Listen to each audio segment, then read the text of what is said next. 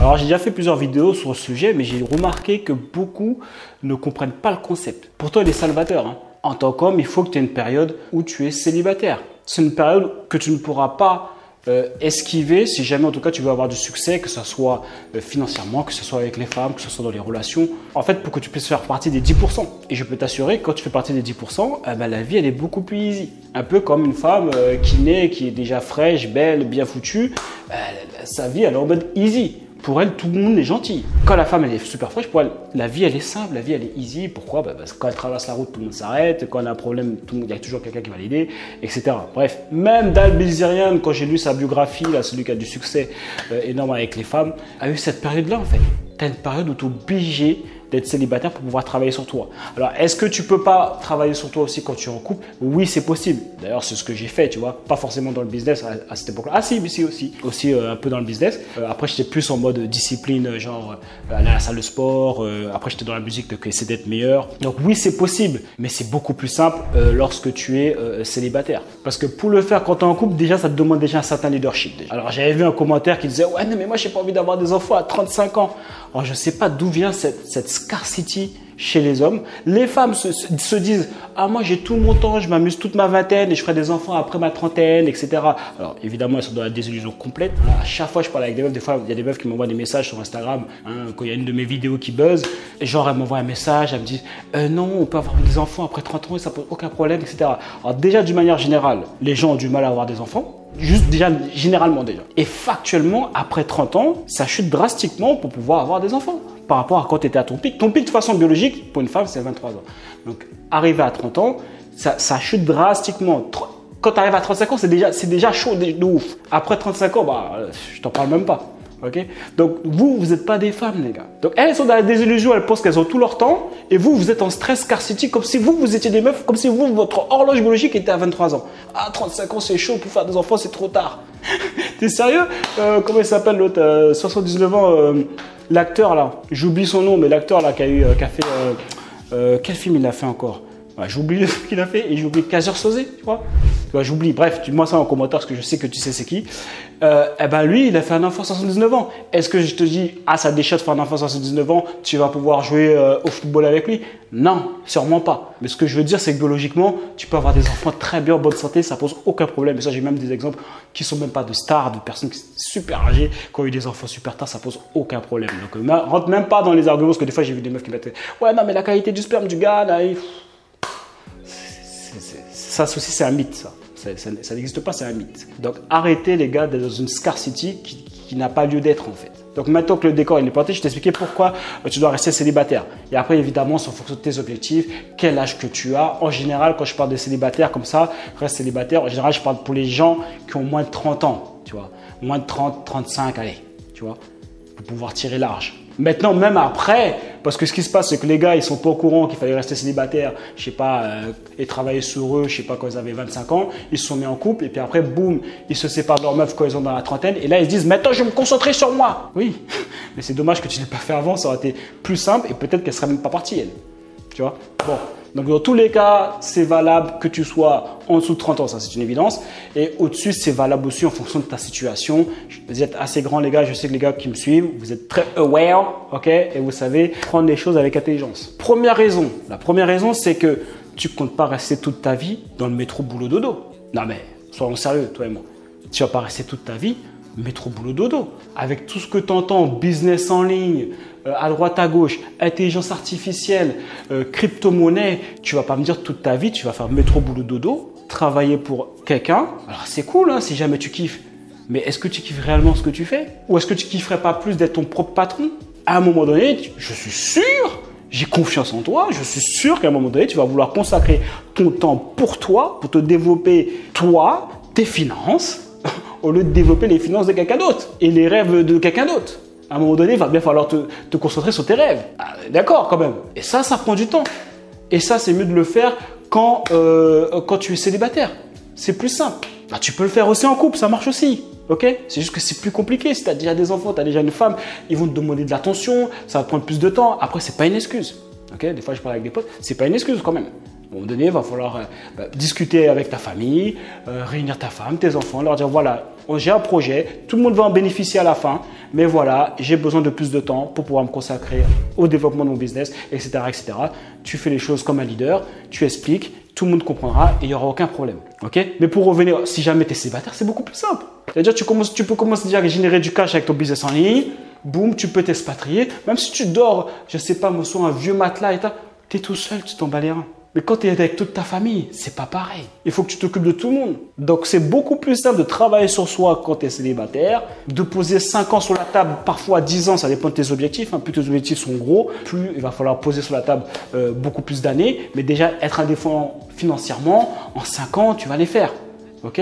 D'ailleurs, si jamais tu es intéressé par le business en ligne et tu veux en savoir plus, tu as mon étude de cas où je te partage exactement comment j'ai fait 20 ans une semaine, je te montre comment créer ton business en ligne de A à Z. Et si tu veux aller même encore plus loin, tu as euh, la possibilité de prendre un rendez-vous gratuit, un appel téléphonique avec un membre de mon équipe et tu vas pouvoir discuter de ton projet, de créer le business en ligne. Mais après, même si tu ne veux pas passer par moi, passe par quelqu'un d'autre, mais fais quelque chose. Tu ne peux pas rester toute ta vie comme ça. Sinon, à moins que tu veux une vie moyenne. Tu veux une vie moyenne, une femme moyenne, une voiture moyenne, une maison moyenne, euh, un travail moyen, euh, un bonheur moyen, enfin tu veux tout moyen quoi. Donc pour moi, c'est ça c'est la première raison. Travaille sur toi, la vie est tellement plus easy quand euh, tu as plus d'argent gars. Même si tu veux pas viser des millions, parce qu'il y en a qui vont dire ouais moi je m'en fais, j'ai juste un revenu complémentaire. Ok, y a pas de problème.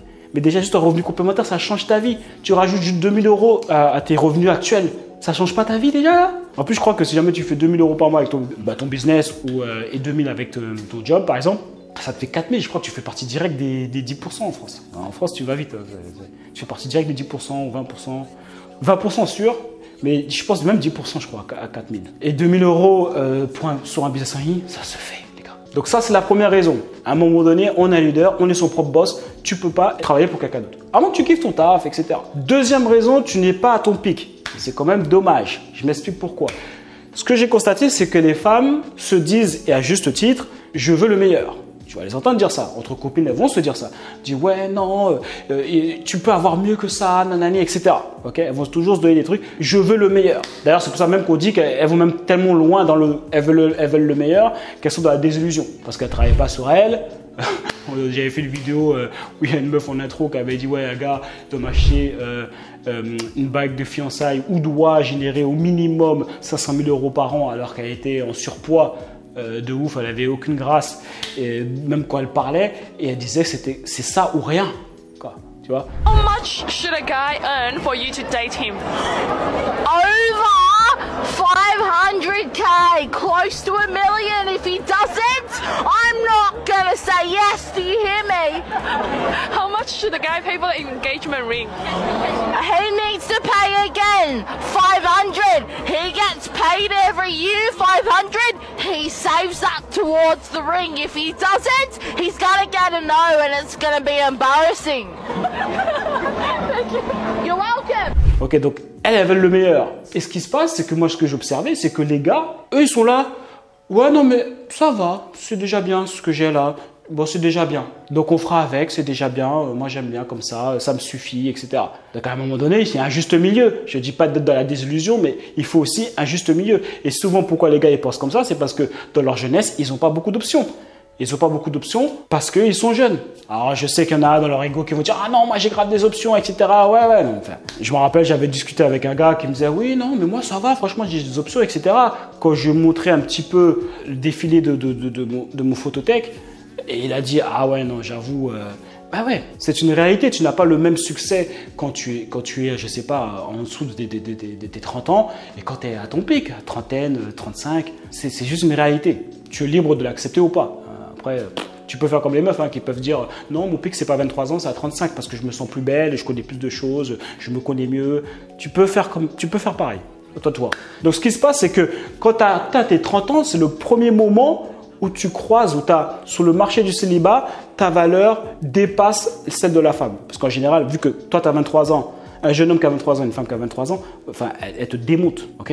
Une meuf qui a 20 ans, euh, qui est euh, belle, bien foutue, c'est l'équivalent d'un héritier euh, milliardaire. La vie, la vie sera équivalente. Okay elle sera avec les plus grandes stars, elle sera, je sais pas, invitée dans tous les endroits les plus VIP, les plus VIP du monde. Ok, c'est une réalité. Ok, le pic, de l'homme, il est à 35 ans. Donc, à un moment donné, elle, son pic, il descend à 30 ans et toi, il se croise à 30 ans. Donc, c'est le, c'est le moment où tu commences à avoir un levier que tu n'as jamais eu dans ta vie. OK? Après, ça ne veut pas dire qu'avant, tu ne pouvais pas gérer des meufs. Quand j'étais jeune aussi, j'arrivais à avoir des options aussi, ça ne pose pas de souci. Mais c'est quand même, tu es beaucoup plus puissant euh, quand tu as 35 ans. Donc si tu penses que tu es puissant déjà là, attends de voir euh, quand tu vas dépasser les 30. Donc la deuxième raison, c'est ça me paraît plus pertinent. À moins que tu rencontres la perle et que tu, es déjà euh, successful, tu as super as de l'expérience, tu as déjà du charisme, tu as déjà du leader, tu es déjà à ton top, ok?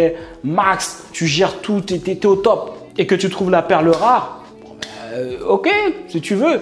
Mais moi, je pense que ce serait mieux d'attendre que tu te rapproches de ton pic parce que tu auras beaucoup plus de choix, ok Au mieux de te juste te dire bon, ben avec elle ça va. Et puis après, et quand j'ai avec elle ça va, c'est pas forcément que tu acceptes que qu'elle soit pas belle ou un truc comme ça. Ça peut être genre elle est bien, mais au niveau du caractère, par exemple, bah, tu ne te laisses pas rentrer en intimité avec elle parce qu'elle a mal à la tête. Ah, J'avais fait une vidéo où un gars m'avait envoyé euh, euh, vraie story où il me disait ouais, sa meuf elle lui a dit bah euh, astique-toi avec ta main. Parce que moi, euh, non, je bon, oui, euh, enfin voilà. Euh, tu vois. Et ça, c'est, ça, c'est courant, ça. Après, entre hommes, les gars, ils disent pas. Parce que l'ego, mais c'est courant. Et ça, tu acceptes ça, pourquoi? Parce que tu n'as pas d'option. Ok?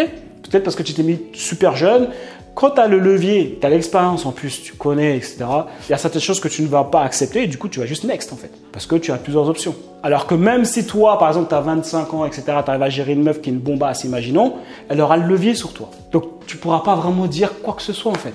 Parce qu'elle va attirer tous les gars qui ont la trentaine, euh, des Drake, des trucs comme ça. Donc, tu n'auras jamais le levier. Donc, même si elle reste avec elle, tu pourras pas faire trop le malin parce que tu pourras pas forcément en avoir une autre comme elle. Ou sinon, c'est super difficile. Dans tous les cas, tu es dans une situation quand tu es en dessous de tes 30 ans où tu n'as pas forcément le levier. À moins que tu baisses évidemment tes critères. Hein. Mais tu n'as pas forcément le levier en fait. Est-ce que c'est intéressant Surtout dans l'ère où on vit avec les femmes modernes, où les relations durent à peine 2 ans, peut-être 3 ans? Allez, il me semble que c'est 5 ans normalement dans les grandes villes, je crois. Enfin, en tout cas, les mariages. Donc, euh, est-ce que ça vaut le coup? C'est mieux d'attendre quand tu as ton pic et tu choisis la meilleure femme. Comme elles, elles font. Quand elles sont à leur pic, elles veulent le meilleur gars et elles choisissent le meilleur gars. En tout cas, devraient le faire. Alors, c'est vrai qu'elles ne le font pas. Ne fais pas la même erreur. Euh, il y en a beaucoup qui attendent euh, d'être plus à leur pic pour pouvoir se poser. essaie, de, de trouver un sens à tout ça. Mais toi, ne fais pas la même chose. Ne fais pas le contraire. Quoi. Attends d'être à ton pic pour pouvoir euh, te poser. Ne fais pas le contraire. À moins, exception, évidemment, les gars, c'est pas des lois fixes, les gars. Quand même, toi. À moins que tu trouves la perle rare, tant mieux. D'ailleurs, moi, ça a été mon cas. Mais je sais qu'aujourd'hui, les gars, c'est pas comme ça la vie. Ne me dis pas, oui, moi aussi j'ai trouvé la perle rare. Et puis après, euh, ouais, mais en fait, elle veut pas rentrer en intimité avec toi. Euh, ouais, elle te respecte pas. Ouais, les gars. Et troisième raison, c'est l'expérience. L'expérience, c'est super important. Et tu as besoin de temps pour pouvoir acquérir cette expérience. Que ce soit en connaissance de nature féminine, que ce soit en charisme, que ce soit en leadership, que ce soit en capacité d'approcher les femmes, que ce soit en relation, que ce soit en faire de l'argent. Ça, ça prend du temps, ça. Hein faire du réel argent. Je te parle pas de faire un petit peu d'argent comme ça, et puis après, euh, je sais pas, dans 2-3 ans, tu retournes dans le salariat. Non, faire de l'argent, investissement, revenu passif, créer un actif solide, un business sur le long terme, rentable. Ça, ça prend du temps. Et tu sais quoi? Ça fait de toi un winner. Et tu sais quoi? Les femmes aiment les winners. Que souvent, les gars, ils se plaignent, ouais, les femmes modèles sont dans la désillusion, etc. Blablabla. Bla, bla. Mais en fait, les femmes, elles aiment juste les winners. Point barre. Est-ce que ça devrait être différent? Finalement, je ne sais pas. Non, je pense pas. Je pense qu'elles ont raison de vouloir avoir un mari qui soit un winner, parce que le mari qu'elle aura, qui soit un winner, elle va avoir des enfants avec lui, ou il y a grande chance que lui aussi soit un winner. Je suis sûr que tu as déjà remarqué plusieurs fois que les enfants, en général, ils imitent euh, leurs parents. si tu es docteur, en général, ton enfant, il va vouloir être docteur. Si jamais euh, il est basketteur professionnel, il va vouloir être basketteur professionnel. On le voit avec Zidane, on le voit avec euh, Ronaldo.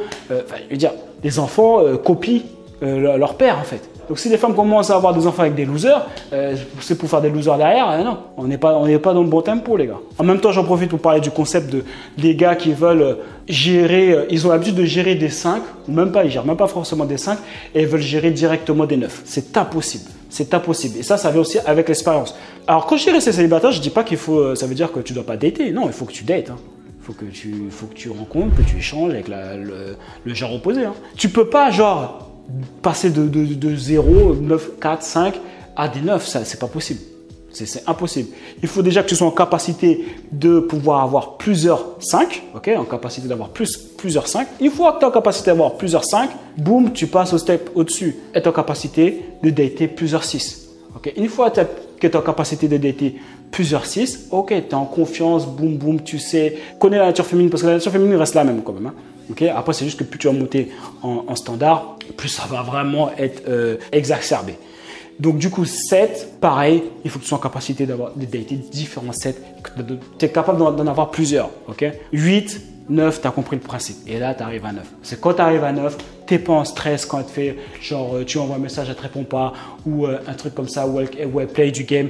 Tu es déjà entraîné, tu connais la nature féminine, tu as de l'expérience, tu n'as aucun problème là-dessus. Si elle n'est pas contente ou si elle fait sa maline, next, tu sais que tu en as une autre. Tu en capacité parce que tu as l'expérience, tu sais faire ça. Mais tu peux pas, genre, arriver, tu jamais été un 9 de ta vie et boum, tu arrives. Imaginez hypothétiquement, par, magie, je sais pas, par.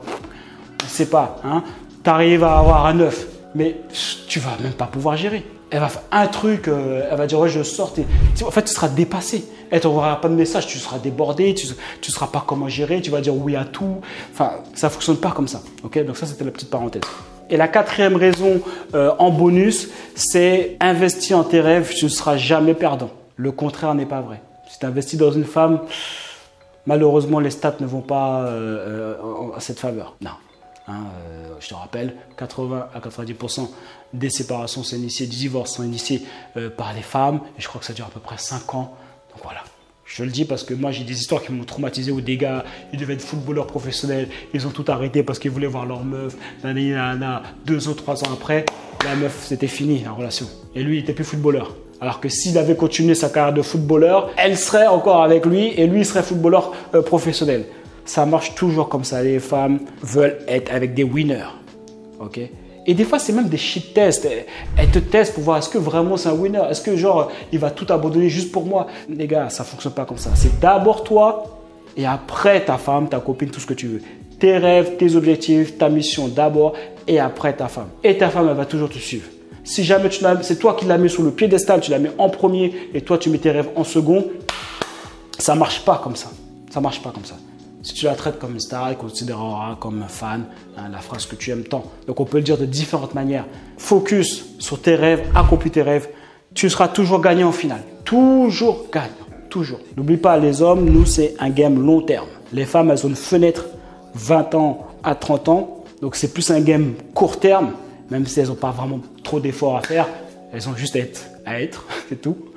Voilà, hein, si tu as un 6 t'entretiens, tu fais attention à ce que tu manges, tu vas à la salle de sport. Un 6 peut sortir un millionnaire, normal, tu vois. En tout cas, si jamais elle est focus. Et elle ne se laisse pas entraîner par euh, toutes les croyances féministes, ok?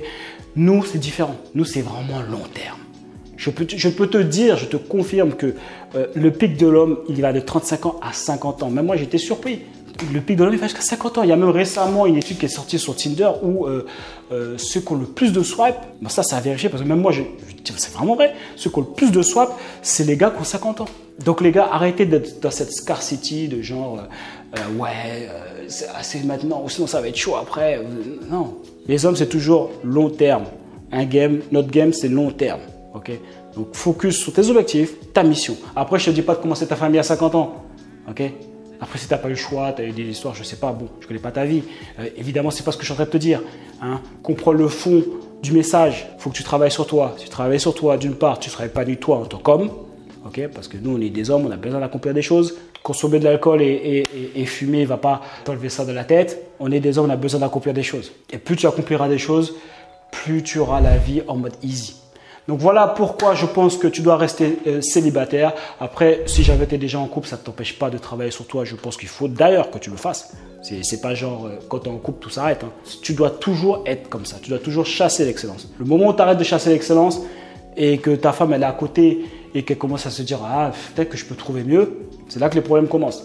Alors elles vont pas toutes dire ça, mais en tout cas, euh, il faut que tu te dises que ta femme doit toujours être être en admiration devant toi. Et pour qu'elle puisse être en admiration devant toi, il faut que tu fasses quelque chose.